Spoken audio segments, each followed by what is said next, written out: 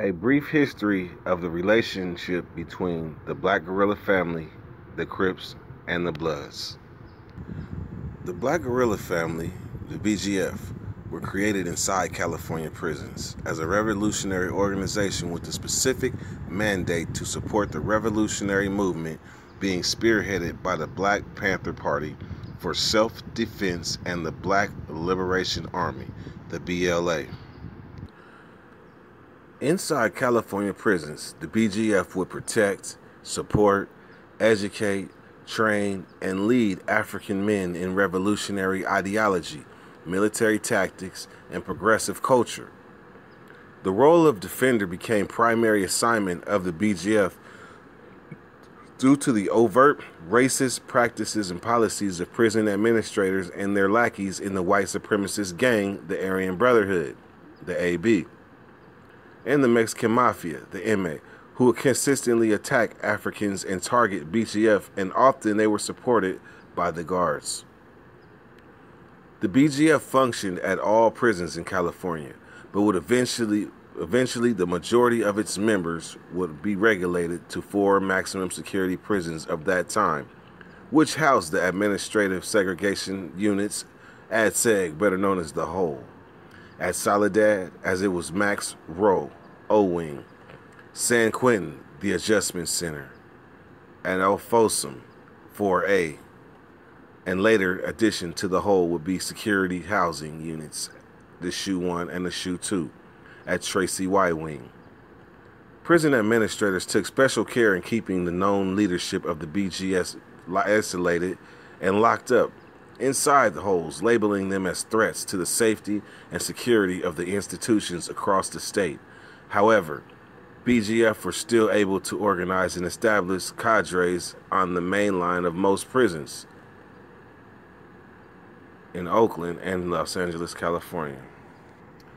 By the time Crips and Bloods gangs began to fill up California prisons, the BGF were well established and organized and supported by the majority of African prisoners who respected what the BGF were doing and no doubt appreciated the help the BGF gave to them when it came to countering the assaults and attacks from racist guards and prisoners. The Bloods and Crips entering California prisons were young, street gang members who had formed together to combat and kill one another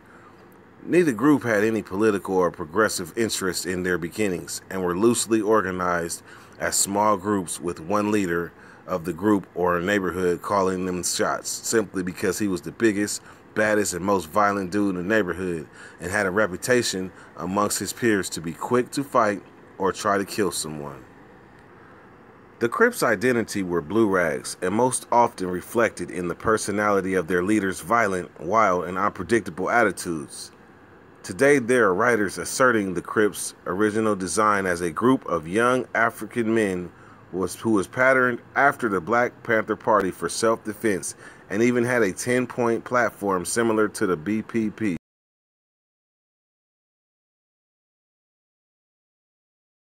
Few fellas that get together and, you know, we get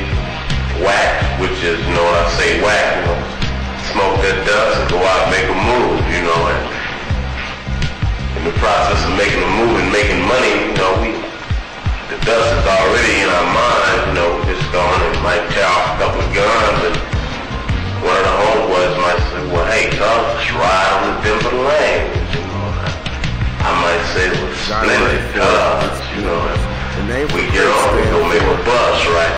Community Revolutionaries in Progress. That's CRIP. Community Revolutionaries in Progress.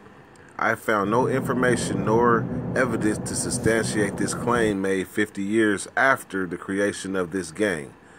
If the founders of this group designed it to be in the likeness of the BPP, Black Panther Party, there were numerous examples of the BPP utilizing the media to clarify their intentions in the community and put forth their agendas. When the local media in Southern California began reporting on the Crips on their violent activity in the African American community, the reporters didn't know for sure what to call them because the word Crip didn't mean anything to anyone. The violence being carried out by Crip gang members caused one reporter to speculate the spelling out of the word to be crypt, which means underground chamber or vault, sometimes used as a burial place, implying the Crips were sending a message to their rivals We're going to send you to your grave. This notion was replayed over and over in local media, giving the founders of the group ample opportunity to respond and set the record straight regarding who and what they were. But there would be no response. Perhaps those members of the Crips were being sought by the police for the brutal crimes they were carrying out in the African, com- African community and could not show their faces.